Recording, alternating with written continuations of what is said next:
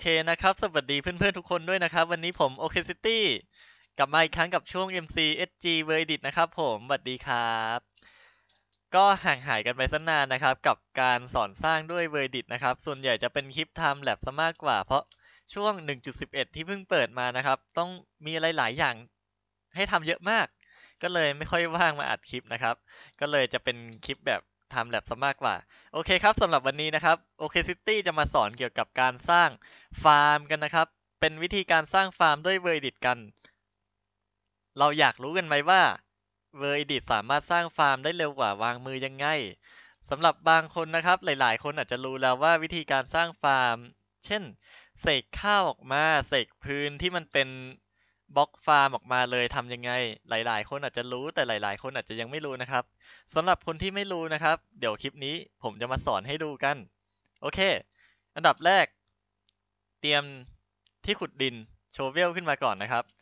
ต่อมาพิมพ์คำสั่ง mark ศูนย์เข้าไปครับ อ่า เป็น mark สองแล้วกัน mark ศูนย์นะถูกแล้วครับ ต่อมานะครับ ผมอยากจะสร้างพื้นดินขึ้นมาก่อน ผมก็ใช้คำสั่ง br cyl สร้าง อ่าทรงกระบอกขึ้นมา เป็นดิน ความกว้าง5บล็อกรัศมี5บล็อกนะครับ ความสูง2บล็อกทำไมต้อง2บล็อกอ่าอธิบายกันอีกครั้งหนึ่งครับ ถ้าเกิดเป็นสูง1บล็อกแบบนี้ เนี่ยครับ จิ้มไปมันก็จะโดนแค่ชั้นนี้นะ แบบนี้ครับ ปกติผมเลยต้องใช้2บล็อกเพื่อให้มันขึ้นมาแบบนี้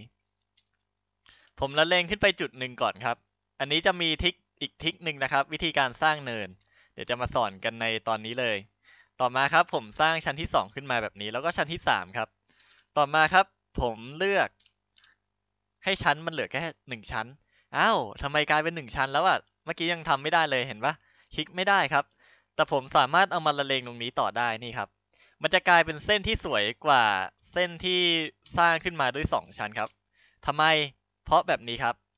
นี่ แบบนี้มันจะคำนวณยากครับเห็นนะมันจะมีช่องโหว่ๆแบบนี้ครับ มันจะทำให้สร้างยาก ถ้าผมกำหนดแบบนี้เลยผมลากได้เลยนี่ มันจะไม่มีช่องโหว่ที่มันเป็นวงกลมขึ้นมา ก็ลากได้สวยขึ้นครับ ผมต้องการชั้นของเนินที่เอาไว้ปลูกข้าว ผมก็ตีเข้าไป ชั้นล่างผมอยากได้กว้างขึ้นนี่ ผมก็แค่มาขีดชั้นล่างนะครับ มันก็ออกมาได้อีกชั้นหนึ่งง่ายครับ ไม่ได้ยาก ใครๆก็ทำได้ครับ ขอแค่รู้คำสั่ง ด้านหลังผมจะไม่ใช่นะครับ เพราะงั้นผมจะไม่แต่งอะไรมาก เพื่อให้คลิปไปได้เร็ว แบบนี้ครับ อ่า ผมใช้เนินแค่นี้พอ ข้างหน้าอาจจะกว้างขึ้นอีกหน่อยแถวนี้ อุ้ยเกิน อันดูก่อนครับ อันดูคือการย้อนคำสั่งที่เราใช้ไปนะครับแอะประมาณนี้แล้วกันครับ เอาให้มันโค้งเข้ามาอีกหน่อยแบบนี้ จะได้ดูมีแบบเป็นกรอบเนาะ อันนี้ผมสร้างเล่นๆนะครับ ไม่ได้จะสร้างสนามอะไร สร้างสอนวิธีการสร้างฟาร์มเฉยๆ โอเคครับ ต่อมา เราได้เนินที่ต้องการละ อาจจะ smooth นิดนึงอ่าเรามา smooth กันก่อนครับ เอามาร์กออก smooth ให้มันแบบกลมกลืนขึ้นมาอีกนิดนึง เพื่ออะไรไม่รู้ นี่ครับ ถ้าไปจิ้มด้านหลังนะครับ มันก็จะกลายเป็นเนินแบบนี้อ่าแบบนี้ก็ได้ จะได้ดูสวยขึ้นหน่อย โอเคครับ เรามาร์กศูนย์อีกครั้งหนึ่ง ไม่ได้ต้องมาร์กสองเราเปลี่ยนมาเป็นมาร์กสองแล้วนะครับ ใช้คำสั่งเดิมครับ br cyl ตามด้วยบล็อกบล็อกฟาร์มก่อนเลย เขาเรียกว่าบล็อกอะไรจำไม่ได้นะครับ น่าจะเป็นบล็อกฟาร์มหกสิบครับ id หกสิบผมต้องใส่น้ำเข้าไปด้วยครับ ถ้าเกิดผมไม่ใส่น้ำนะครับ มันจะกลายเป็นแบบนี้ มันจะกลายเป็นพื้นปกติ แล้วมันจะไม่มีน้ำพื้นดินมันก็จะแห้ง แล้วก็กลายเป็นดินปกติไปครับ ต้องใส่น้ำให้มันด้วยนะครับ โดยน้ำผมจะใส่ให้แค่สองเปอร์ เป็นเลขแปดแล้วก็ผมต้องการบล็อกดินปกติอีกสักสิบห้าเปอร์เซ็นสิบแปดแล้วกัน เป็นเลขสองครับ เป็นดินปกติ แล้วตรงนี้ก็เจ็ดสิบห้าเปอร์เซ็นเป็นหกสิบก็คือบล็อกฟาร์ม แล้วก็อีกห้าเปอร์เซ็นครับ เป็นบล็อกดินที่มันจะไม่ลาม คือดินหนึ่งสามจุดหนึ่งดินดำๆหน่อย แบบนี้ครับ โอเคผมก็จะได้ละ พื้นที่ฟาร์ม ผมก็ติดไปเลยครับ ที่ให้มันมีดินปกติด้วยเพื่อให้มันดูแบบเป็น texture พื้นเนาะให้มันดูสวยขึ้นอ้าวตรงนี้ไม่มีน้ำเลย ไม่มีน้ำแบบนี้ก็แห้งสิครับ โอเค ถ้าเกิดน้ำมันโผล่ขึ้นมาตรงปลายอะเดี๋ยวเดี๋ยวน่าจะมีสักอันหนึ่งนี่แบบนี้ครับ ถ้าโผล่ขึ้นมาตรงปลาย เราอาจจะตีกรอบล้อมรอบหรือว่าจะอุดไปเลยก็ได้นะครับ แต่ตรงนี้ผมตีกรอบล้อมรอบ เพราะไม่มีน้ำใกล้ๆ เดี๋ยวมันจะแห้งหมด อย่างอันนี้ผมก็อันดูผมใช้น้ำปริมาณน้อยครับ เพราะงั้นเวลาจิ้มก็เลยอาจจะต้องอันดูหลายที่หน่อย ก็อย่าไปซีเรียสเนาะตรงนี้ผมอาจจะอุดไปเลยก็ได้แบบนี้ครับอ่าต่อมาชั้นบน หรือความจริงนะครับ เราควรจะแบบวางน้ำเองจะเป็นอะไรที่ดีที่สุดครับ หยิบถังน้ำขึ้นมาครับ แล้วก็ไม่ต้องเฉลี่ยน้ำทุบบล็อกหนึ่งอ้าว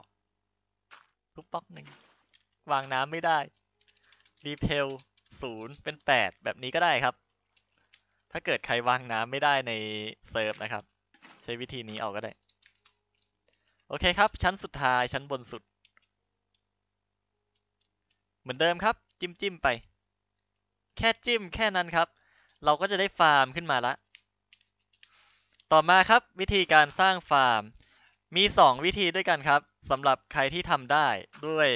คำสั่ง overlay overlay นะครับ คือคำสั่งที่จะสร้างบล็อกขึ้นมาบนบล็อกที่เราคุมไว้ทั้งหมด ผมจะคุมทั้งหมดที่เป็นฟาร์มครับ อ่า ผมอุดน้ำนิดนึงก่อนนะ เพื่อให้มันดูสวยงาม เดี๋ยวอีกจุดหนึ่งด้วย พอร์ตสองตรงนี้ครับคือการคลิกคลิกขวาขวานไม้บนอากาศ แต่ผมใช้พอร์ตเอาใช้คำสั่งเอาไม่ต้องคลิกเอง overlay ครับต้องมาร์กศูนย์ก่อน มาร์กศูนย์ครับ แล้วก็ อ๋อ มาร์กไม่ต้องใช้นะครับ ใช้ overlay อ่าตามด้วยบล็อก59ครับ59ก็คือบล็อกบล็อกฟางข้าวบล็อกข้าวครับ59จุด7ครับ คือต้นที่โตสูงที่สุดมันจะมีจุด1จุด2จุด3จุด7คือต้นที่โตสูงสุดครับ เฉลี่ยศูนย์เข้าไปเพื่อให้มีแบบเรียกว่าอะไรดี มีเป็นแบบโล่งๆแบบไม่ต้องปลูกด้วย ลองดูครับ นี่ครับ จะออกมาได้เสร็จเรียบร้อยครับ แค่นี้เราก็สร้างฟาร์มได้แล้ว ส่วนไอ้ตรงที่มันเกินเกินมาเราก็ทุบทิ้งนะครับ ไม่ก็ปล่อยไว้เดี๋ยวมันก็จะหายไปเองเนี่ยครับ มันจะค่อยๆร่วง แบบนั้นครับ แค่นี้เราก็จะได้พื้นที่ละเห็นไหมครับ การสร้างฟาร์มไม่ยากอะไรเลย หรืออีกวิธีหนึ่งครับ ถ้าเกิดเราอยากจะแบบจิ้มเองกับมือ ก็ทำได้ครับ59.7แอนศูนย์เข้าไปครับรัศมี5ความสูงต้อง 2บล็อกครับ เพื่อให้มันอยู่ด้านบน มาร์กศูนย์เข้าไปครับ นี่ครับ เรามาจิ้มเองแบบนี้ก็ได้ แบบนี้ก็ดีเหมือนกันครับ จะได้ไม่ไม่เกินตรงที่เราไม่ต้องการ ตรงนี้มันไม่มีน้ำก็เลยไม่โตนะ อย่าไปซีเรียส ไม่ต้องสวยมากโอ้ตรงนี้น้ำท่วมเลย ไม่เป็นไรครับ ถือว่าเป็นฟาร์มที่แบบโดน monster ยึด monster ยึดฟาร์มนี้เรียบร้อยแล้ว แล้วก็มาทำลายแบบเอ๊ะแถไปเรื่อย อ่าเราก็จะได้ฟาร์มข้าวแล้วครับ วิธีการสร้างฟาร์มข้าวนะครับ มีอีกหลายวิธีถ้าเกิดใครที่ปิดเวอร์ไม่ให้ต้นข้าวมันโตขึ้น เราจะเปลี่ยนแบบนี้ก็ได้ครับ repel repel เนี่ยรัศมี 40 เปลี่ยนจากบล็อก 59 คือบล็อกข้าวให้กลายเป็น 59.1 59.4 59.7 แบบนี้ก็ได้ครับ แล้วก็อ่าอาจจะ 59 ปกติไปด้วย อ่ามันก็จะโตแบบนี้ครับ โตแบบเฉลี่ยกันสุ่มๆ หรือเราอาจจะเปลี่ยนอีกอย่างครับ อาจจะเป็น 59.7 กับ 141.7 142อ่า142.7 ก็ได้ครับ แล้วก็ลูกน้ำแบบนี้ครับก็จะได้ต้นที่มันเป็น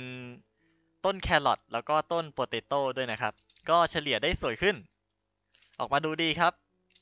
ใส่ไฟเข้าไปครับ วิธีใส่ไฟก็มีหลายแบบ ผมอาจจะใส่ไฟด้วยฟักทอง ฟักทอง ID อะไรเราก็มาดูครับ ID ฟักทองนะครับ ก็จะเป็น 91 หรือเปล่า ไม่ใช่อ่า91 ครับจำได้แล้วทำไมไม่พิมพ์แต่แรก 50 ครับ 59.7 ครับ ให้กลายเป็น 59.7 and 91 เอาแค่ 5%พอครับ ทีละ 5%แบบนี้ครับก็จะได้ละ นี่ครับ ฟาร์มข้าวก็จะออกมาดูสวยเนาะหรือ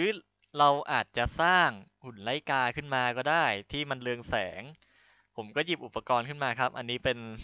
สไตล์ติดตัวมาแล้วนะไอการสร้างหุ่นไลกาอันเนี้ยสร้างมาจนชินละอ่าเลือกบล็อกขึ้นมาก่อนหนึ่งบล็อก แล้วก็บล็อกอะไรก็ได้ครับ แบบนี้ครับ ต่อขึ้นมา ต้องต่ออันนี้ก่อนครับ เพื่อวางบล็อกแตงโม เอ้ฟักทองเข้าไปนะครับ แล้วก็ทุบออก ติดเข้าไปครับ ถ้าเกิดเป็นแมปพวก PVP หรือแบบ Survivor เราก็อาจจะแบบเป็นที่ซ่อนตัวได้สำหรับผู้เล่นนะแม่เข้ามาซ่อนตัวในหุ่นไลกา อะผมมาตรงนี้ครับพอตหนึ่งแล้วก็พอตสองครับ ผมบินสูงๆตรงนี้ Copy แล้วผมก็บินมา แล้วก็วางลงไป แบบนี้ก็ได้ครับสำหรับใครที่ขี้เกียจขี้เกียจแบบนั่งสร้างหลาย ๆ ตัวนะ ตรงนี้พื้นสูงขึ้นมาระดับหนึ่ง ผมก็บินขึ้นมาสูงขึ้นมาอีกบล็อกหนึ่ง อ่า แบบนี้ โอ้ อันนี้ผมบินขึ้นมาสองบล็อกหรือเปล่า ไม่ใช่ ประมาณนี้ครับ อ่า เดี๋ยว อันนี้มันชุยไปหน่อยก็ขออันดูทิ้งเนาะ ประมาณนี้ครับ เวลาสร้างฟาร์มก็ไม่ยากครับ อะมีอีกอย่างหนึ่งครับทิ้งท้ายให้ เป็นวิธีการสร้างถนนนะครับ ด้วยการใช้บล็อก 208 ผมใส่ 2 เข้าไปเยอะๆหน่อยแล้วก็ 5 ครับ ผมมาร์ก2เข้าไป 208 คือบล็อกดินที่มันเป็นดินพรวนนะครับ ดินพรวนด้วยโชเวล แบบดินใหม่ของ 1.9 เนาะนี่ครับ อันนี้ก็สร้างเป็นถนนได้ สวยดีเหมือนกันครับ ผมชอบใช้เหมือนกันอันนี้อะ ประมาณนี้แหละครับสำหรับคลิปนี้ก็น่าจะขอจบลงเพียงเท่านี้ก่อน ใครที่ชอบคลิปนี้หรือว่ามีอะไรสงสัยก็สามารถคอมเมนต์ไว้ได้นะครับ อันนี้ก็เป็นวิธีสร้างฟาร์มง่ายๆ สไตล์คนที่ขี้เกียจ คนขี้เกียจแหมวางมือผมก็ยังการันตีครับว่าสวยกว่าใช้ WorldEdit สำหรับวันนี้ก็ขอตัวลาไปก่อนนะครับ ใครที่อยากให้ OK City สอนสร้างอะไรก็สามารถคอมเมนต์ไว้ได้ครับ บ๊ายบาย บายจ้ะบายบายบาย